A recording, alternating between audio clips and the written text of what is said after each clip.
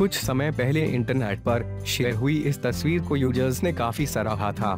दरअसल, चार साल की एक बच्ची जॉर्जिया के कोलंबस शहर में अपना फुटबॉल मैच खेलने आई थी। इसी दौरान उसे सपोर्ट करने के लिए उसके दो माँ और दो पापा भी ग्राउंड में मौजूद थे।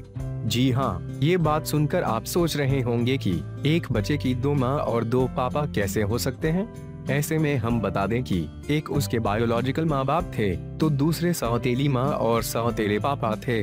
फेसबुक पर इस तस्वीर को एमिली प्लेयर नामक महिला ने शेयर की थी, जो चार साल की मेलिन प्लेयर की स्टेप मॉम है। उन्होंने लिखा मेलिन अपना फुटबॉल मैच खेलने आई थी। उसके लिए एक साथ चार बिग सपोर्टर मैदान में आए थे, एक उसके बायोलॉजिकल माँ बाप और दूसरे स्टेप मॉम डैड मेलन को सपोर्ट करने के लिए सभी ने ब्लू रंग की टी शर्ट भी पहन रखा था, जैसा कि आप तस्वीर में भी देख सकते हैं। शेयर होने के बाद यह फ़ोटो वायरल हो गई और लोगों ने इनकी काफ़ी तारीफें भी की। इस तस्वीर को करीब एक लाख लोगों ने शेयर किया, जबकि बत्तीस हज़ार से ज़्यादा लोगों ने अपनी प्रतिक्रिया भी दी।